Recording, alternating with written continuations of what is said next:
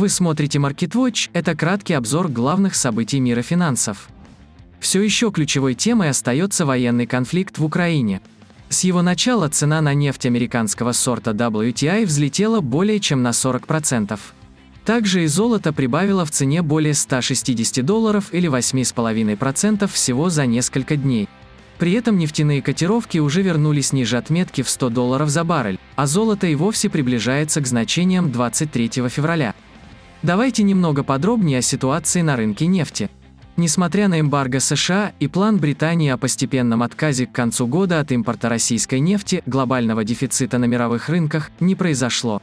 Также уделю внимание на готовности Индии покупать нефть у России за рубли и рупии, в то время как премьер-министр Великобритании Борис Джонсон совместно с президентом США пытаются договориться с Саудовской Аравией об увеличении экспорта черного золота. Все это способствует стремительному снижению паники и, как следствие, давит на нефтяные котировки. Смещаясь на рынок драгметаллов, могу сразу отметить явное снижение паники – Золото торгуется всего на 15-17 долларов выше максимума 23 февраля. Напомню, что еще несколько дней назад был установлен максимум у отметки 2070 долларов за унцию, что выше текущего значения приблизительно на 140 долларов. Также уделю внимание достаточно сильному росту доходности десятилетних гособлигаций США.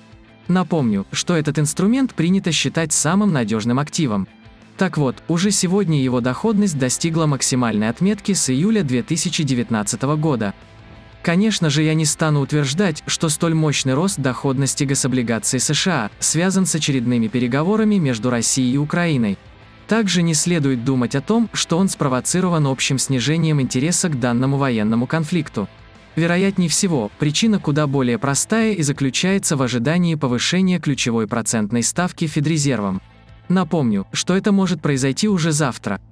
А сегодня все внимание сосредоточено на статистике по рынку труда в Британии, которая уже опубликована, а также на данных по изменению настроений в деловой среде Германии и по еврозоне. Обратите внимание и на предстоящий релиз индекса цен производителей в США. Дальнейший рост этого показателя подтвердит рост инфляции в ближайшие несколько месяцев, тем самым вынуждая Федрезерв более активно повышать процентные ставки. На этом у меня все. Внимательно следите за новостями и будьте готовы ко всем сюрпризам рынка.